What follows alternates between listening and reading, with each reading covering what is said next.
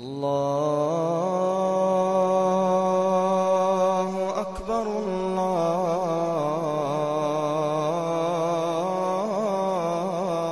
الله أكبر Bismillahirrahmanirrahim.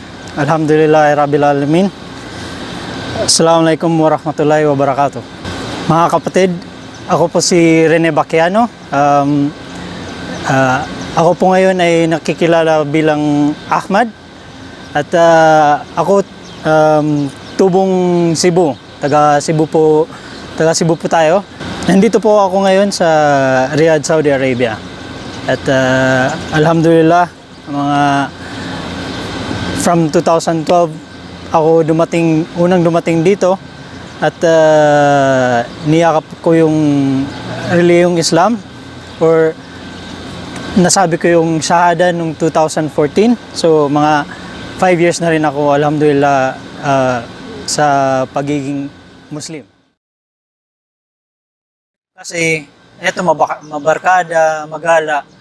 Pero nung na na-embrace na ako, uh, astagfirullah dati kasi pag nag-inuman nandun ako, tatagay ako left and right, tatanggapin ko anong kahit anong alak yan o beer o ano, tatanggapin ko. Kaya nung nung nung nauwi ako at ah, nag ah, nagsama-sama yung mga kaibigan ko, pag nagtatagay na sasabihin kong ah, hindi na ako uminom, sa parang natatawa talaga sila.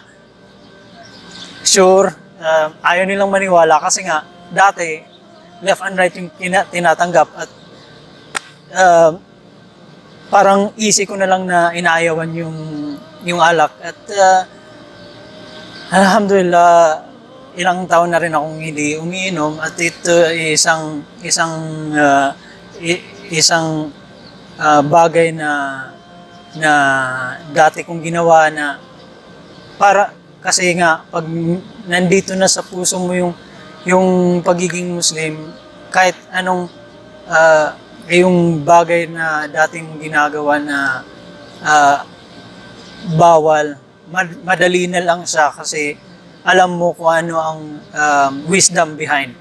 Kasi nga hindi naman siya nakakabubuti at nakakasama pa siya sa ating katawan. Kasi yung kagandahan din ng Islam is uh, uh, ini-encourage tayo na araw-araw dapat meron tayong natutunan. At uh, yun yun din yung uh, tinatry ko na na ga- gagawin sa buhay ko na kahit man lang kaunting ah, basa ma at meron tayong matutunan araw-araw. At ah, alhamdulillah yung storya ng pagka ah, pagyakap ko sa Islam is ah, nung 2012 ah, doon ako doon ako unang ah, unang nagtrabaho dun sa Ya- Yanbu, ah, Saudi Arabia. At ah, sa kadahilan ng gusto nating ah, matutong mag-Arabic o yung mga street na Arabic is ah, naisipan kong mag-download ng mga location-based na ah, messaging app. At doon ko nakilala ang isang ah, isang tao. Um, ang pangalan niya ay si ah, Faisal. Isa, isa po siyang Saudi.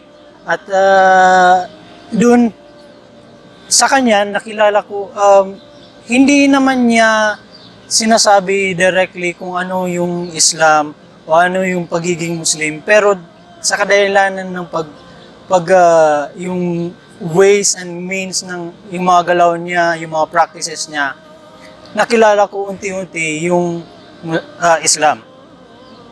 At ah, dahil nga rin nakasama ko rin yung mga pamilya niya, yung kapatid niya, yung ama niya, ah, doon ko nakikita kung gaano ka gaano ka yung yung yung ties ng Muslim family. Pero doon sa Yanbo, hindi ko pa niyakap yung Islam. Iniwan ko yung kumpanya ko doon, tapos ah, at bumalik din ako sa Saudi Arabia, pero sa ibang city na ako. Doon na ako sa Jubail. Doon naman sa Jubail, ah, yun din yung ginawa ko sa kadahilan din naman na matuto tayo mag-Arabic.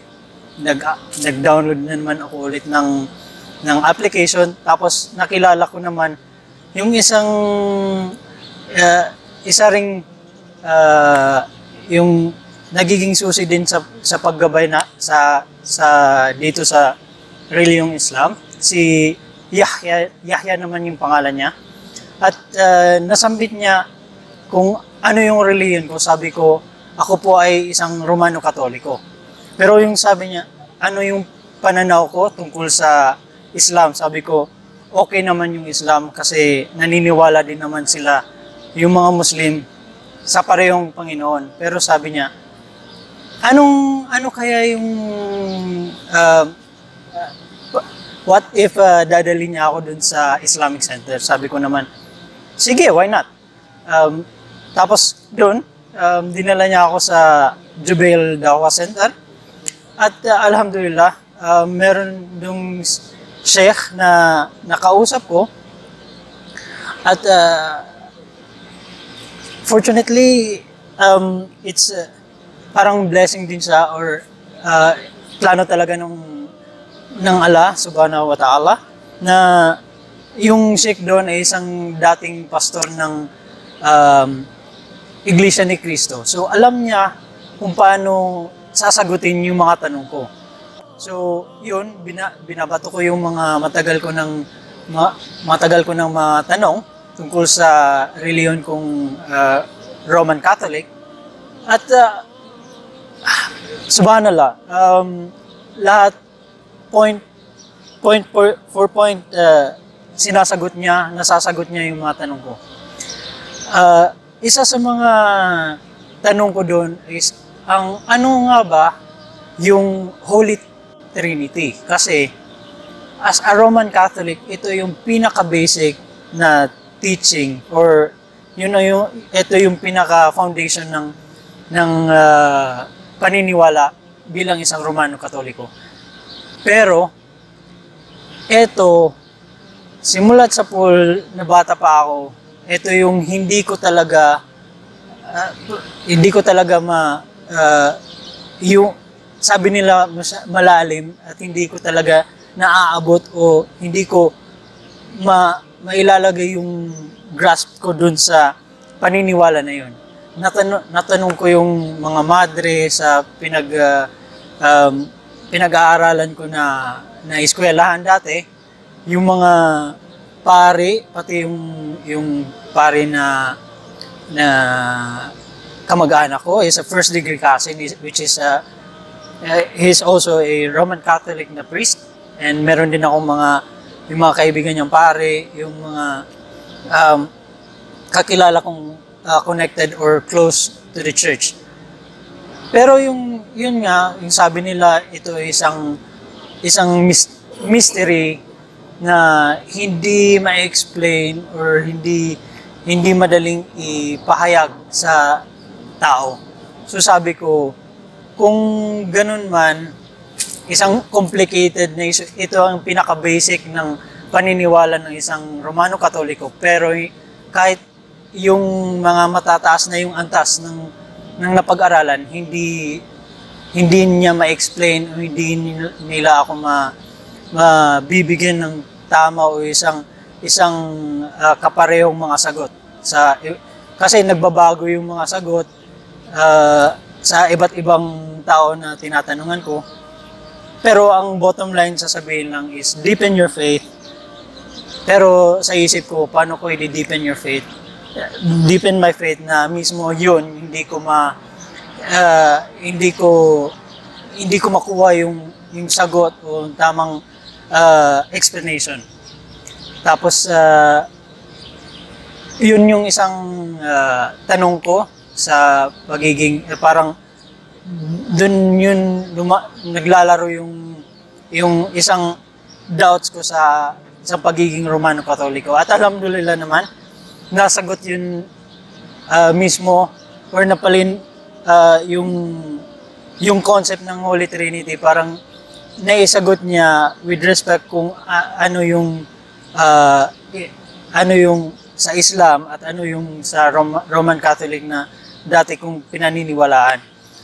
Doon mismo, nag-testify ako na ako ay nani- naniniwala sa kay Allah at uh, kay Prophet Muhammad sallallahu alaihi wasallam.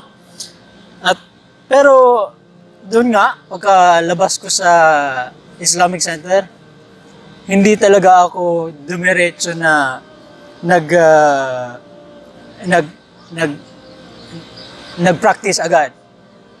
Parang nung nung umuwi na ako sa bahay, sabi ko sa sarili ko, tama ba yung decision ko?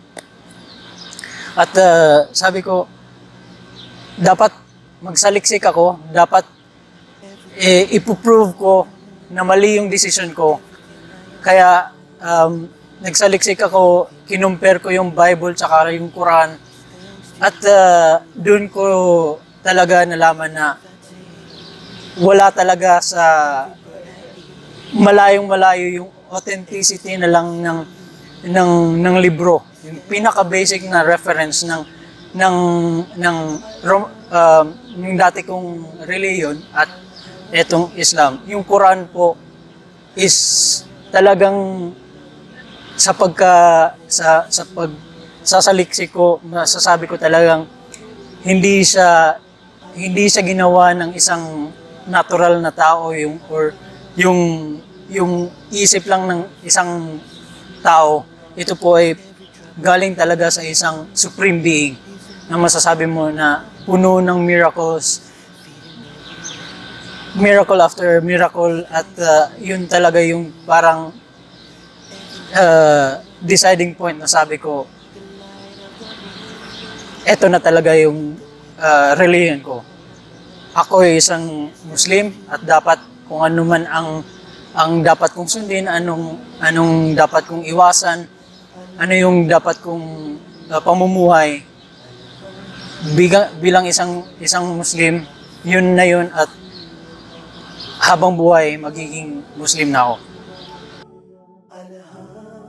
After naman yung nag-decide na talaga ako na na mag-embrace na ako ng ng bagong religion, uh, hindi ko pa sa inopen agad sa pamilya ko kasi yung makukonsider po uh, makukonsider ko kasi na yung pamilya ko is a devout Roman Catholic talaga, nagro-rosaryo, nagsisimba ka uh, every Sunday.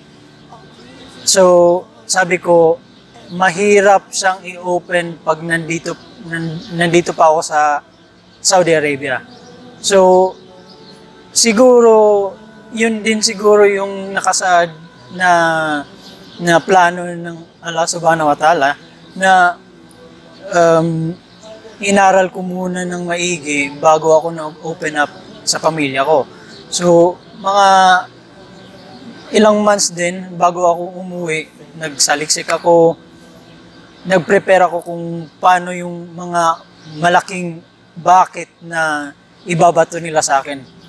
So, yun nga, nung nauwi ako 2000, uh, yun nga yung nagsahada ako 2014. And uh, umuwi ako 2015. D- yun, doon na rin uh, nasabi ko sa pamilya ko na na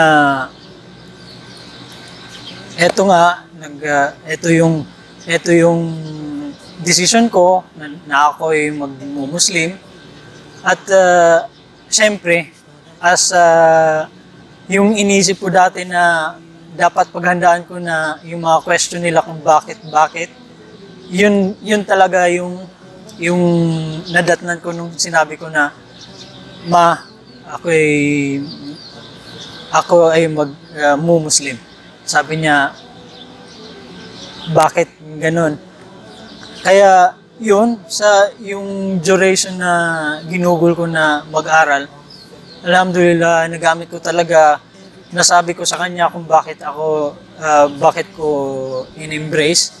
At uh, sabi ko sa kanya hindi naman hindi naman malayo yung kaibahan ay yung hindi naman malayo yung Islam sa Katoliko. Uh, kung tutuusin naman yung mga kat- katuruan at yung mga nababasa natin sa Old Testament is very close sa mga katuruan ng Islam. So, sabi ko, may mga istorya na nasa sa Old Testament na yun din nasa sa Quran.